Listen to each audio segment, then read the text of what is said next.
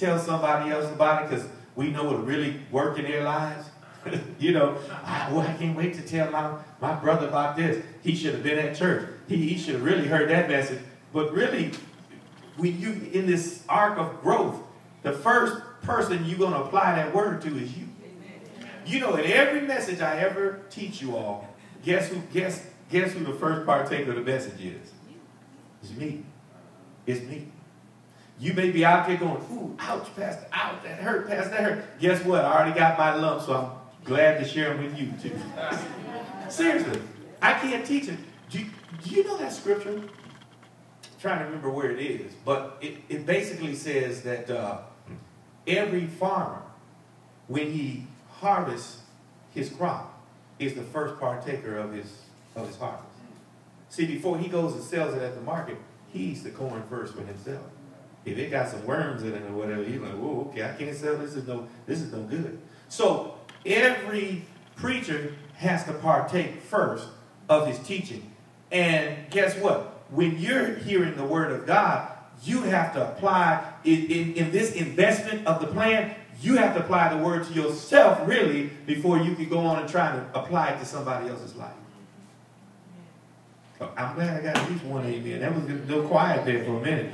All right, listen, I know it's a sober realization, but this is good. And here's the thing about it. It's important that's why it's called self-control. Temperance is called self-control because the first place you have to apply this knowledge, the first investment of this knowledge has to be in you. And guess what part of you you have to apply it to first?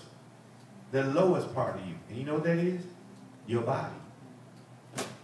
The lowest part of us is our flesh, is our body. And this word, you got to apply this thing to your flesh first and foremost. So let's look at this. Romans chapter 7. I want to show you why it's so important to apply it to uh, the flesh. And that's because in Romans 7, it says, verse 14, Paul says, We know that the law is spiritual, but I am mortal, sold as a slave to sin. I do not understand what I do, for I don't do what I would like to do, but instead I do what I hate to do. And then listen to what he says. He says, I know, verse 18, he says, I know that good does not live in me. That is in my human nature, or translation, flesh. For even though the desire to do good is in me, I'm not able to do it. So what he's saying is, or in the King James it says, uh, in my flesh, here's how the King James says it. Romans 7, 18. In my flesh dwells what? No good thing. Or another way of saying it is, the only thing that dwells in my flesh or my human nature is sin. Now, we've been saved, which literally means we've been made alive unto God. Our spirit, man, is alive unto God. But the truth is, we still have an old nature. We still have a human nature. We still have a flesh. And in our flesh dwells no good thing. So the first place we have to attack is that flesh. Because that flesh to be honest with you, been having its way a long time. Mm. In fact, you know, this fast that we're on really demonstrates the flesh because it's only when, see, as long as you give in the flesh what the flesh wants, you don't you don't feel any struggle. As soon as you tell the flesh, it's you know, it, as soon as you tell, it's kind of like your children. It's kind of like your children. As long as as long as you're doing whatever your children like to do, there's no tension. But as soon as you tell them, you can turn that TV off. Y'all got to go to bed. Now we got a problem. Houston, we got a problem. You know that. As soon as you tell them, no, y'all can't. No, you can't go to the movies this weekend. Now we. Before that, you were mom. You were the greatest mom and dad in the whole world. See. No, I'm, I'm down. Did I just come down your street, brother? I just, I just made a left turn down, down Fern Rock. Okay, praise the Lord. But as long as you, as long as you're doing what the flesh wants you to do, Somebody say, no problem. No problem. But as soon as you say, we can't have bread, Houston, we got a problem. It's a, it's a problem up in here. Wait a minute, but we say, what? No bread? Well, okay, for a day or two, maybe we can, I can roll 21 days. No bread? For 21 days? Bread? I like me some bread. What you talking about? What you talking about, Willis? What you talking about, no bread? No eating after seven for 21 days. See, I don't know how many y'all do follow this fast, but if you follow this fast like I'm following it, somebody's revolting up inside of you. Somebody saying, well, hold up now. Oh, wait, hey, hey, wait a minute. You know, we, hey, I'd like to, can I appeal to a higher court? Somebody's trying to, you know, so there's, little, there's a little tension going on. Somebody's trying to rise up in, the, up in here. Flesh trying to rise up. Somebody say, keep him under. Listen, the Bible says in Galatians chapter 5, look at that. Galatians chapter 5. It says, verse 16, what I say is this, Paul says, let the Spirit direct your lives, and you will not satisfy the desires of the flesh or the human nature. Now here's the key, verse 17. For what our human nature or our flesh wants is opposed to what the Spirit wants. And what the Spirit wants is opposed to what the flesh or the human nature wants. These two are enemies. And this means that you cannot do what you want to do. Right. See, this thing is a fight. It's a fight going on on the inside. And as soon as you make a decision, remember I said the purpose was the goal, right? As soon as you say, I'm going to live holy. The flesh said, what you talking about? You ain't lived holy for 35 years. What you talking about? You going to live holy. In fact, we don't even know how to spell holy. What you, holy? We know about that other stuff. You, you know, the drinking and the smoking and the sexing, we know that. But you trying to, no. Uh-uh.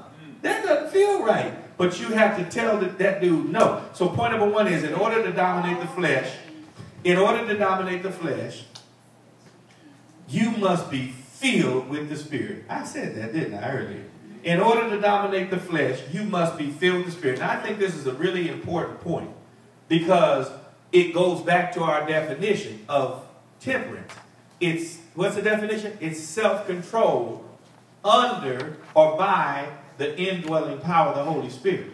So temperance without power is a is a you know is a is a long fight with a short stick, right? Temperance without power is is is you know what they say you bringing a knife to a gunfight, you, are gonna lose. You can't make you can't make it. But, but every time. So in order to dominate the flesh, you must be filled with the Spirit. To dominate means to control. It means to rule over. It means to have authority over. And so letter A says being filled with the Spirit will give you supernatural power. There it is. Being filled with the Spirit will give you supernatural power. You, you all ever, like I said, when I talked about a knife to a gunfight, here's another example. You ever watch these shows on TV and the, the, police be talking about, "Ho, it's the police," and they're there with the little, you know, uh, handgun, even if it's a nine millimeter, and the cops always have, you know, they always have some semi-automatic, I mean, automatic stuff. They all have all these machine guns, and they say, "Stop! It's the police!" Then the, the cops just running and everything. They're outgunned. No, the bad guys have. Yeah, the, that's what I'm saying. The, oh, did I say it wrong? The bad guys have all these automatic weapons, and the cops are hitting the floor and they're outgunned. I'm saying that's an example of what happens when you don't have power. But when you do have power, you can bring out your automatics and say, hey, you know what? I can match what you got, you know, right on back. So letter A says being filled with the Spirit will give you supernatural power. In other words, we can't, we can't match this power of the flesh in our own power. We need supernatural power. Letter B says being filled with the Spirit will give you supernatural success. There it is. So when you have this supernatural power, you can you can you can dominate. You can overcome some things that you otherwise wouldn't have been able to handle. I, I really truly believe that the success that I am experiencing, that I believe a lot of you are experiencing during this time of the fast, is because you're filled with the Spirit and praying in the Spirit.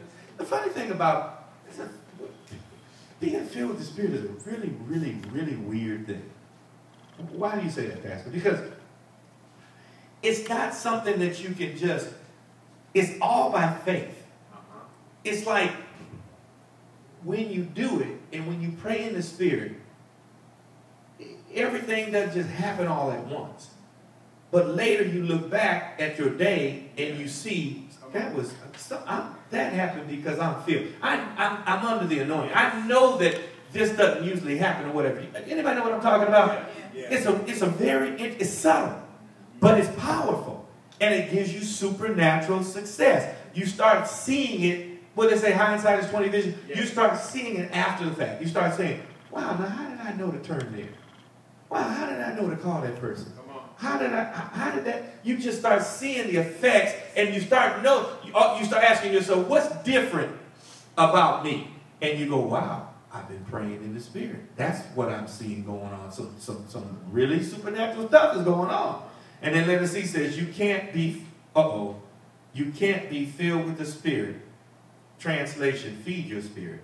And be filled with other spirits or feed your flesh it's not going to work. Now, now this is a very important point right here. This is a very important point. If you get filled with the Spirit, you have you have this great potential to be empowered. And when you're empowered, you have this great potential for, for, for powerful things to happen uh, through you and around you. All right? But just like any kind of empowerment, and I'll, I guess I'll use the example of a, of a, uh, of a grill, a barbecue grill. You got this fire going. You know, you have these coals, and you are the coals, and you know, you're trying to heat up, and seem like you can heat up. All of a sudden, you put that, that, that fluid on it, that oil on it, and that's like the Holy Spirit, and you got a, this thing is ablaze. Now you got a real powerful fire. This thing's really burning good. But how many of you know that fire can be smoldered? How many of you know it's kind of like when you're cooking and the thing's out of control fire, and you say, "I don't want this to be too too loud because it, it might burn up my steaks." You know, let me let me kind of calm it down a little bit. You can you can put the lid on it, you can put water on it, and what I'm saying is, any fire can be dampened, it can be smoldered, and that's what happens with the fire of the Holy Spirit when you when you throw other things on it. You know, you throw drugs on it. You throw alcohol on it. You throw unforgiveness on it. You know, seriously. You, you put you put the wrong spirit on that spirit. You put jealousy on it. And it's like taking some water and all this great fire that you had burning, oh, it's just burning and getting ready to make you the best meal that you could ever want. But all of a sudden, you're just pouring this thing on and it's just damning it before you know what the thing's going out. So you can't be filled with Now, you say, Pastor, why do you say that? I say that because it says it. In, in fact, let's look at it. In Ephesians chapter 5. In Ephesians chapter 5, it gives you a good example of it. It says it. Ephesians chapter 5. And let's see, verse number, uh, what am I looking for? Verse number, yes sir, verse number 18. It says, and be not drunk with wine, wherein is excess, or literally, where if you if you read that with a Greek mind or Greek translation, it, it basically says what I just said. Be not drunk with wine where there is dissipation or where there is a smoldering or a, a, a, breaking down of that which you already have. So it says, be not drunk with wine, wherein is excess. In other words, where it begins to disempower you, but be filled with the Spirit. Now, the original translation there would read like this, but be continually filled with the Spirit. So that what that means is be refilled daily you know, cell phone. You the cell phone, keep plugging yourself updated. Keep plugging yourself updated because you know you're working hard. Do you realize? I, I, wonder if some of us really realize. Now, I guess this is just the way that God speaks to me. You can work hard physically. And I've done both, you know, especially since I've been at this church. since I've been at this church, I've had some days where I came home and I felt like I was a uh, working for the union. You know, I'm serious. I was like, where's my triple scale? I, I don't like hanging out with Brother Clifton and Brother Tyrone because I come home real tired. They, they be working hard, sweeping floors and hanging stuff up.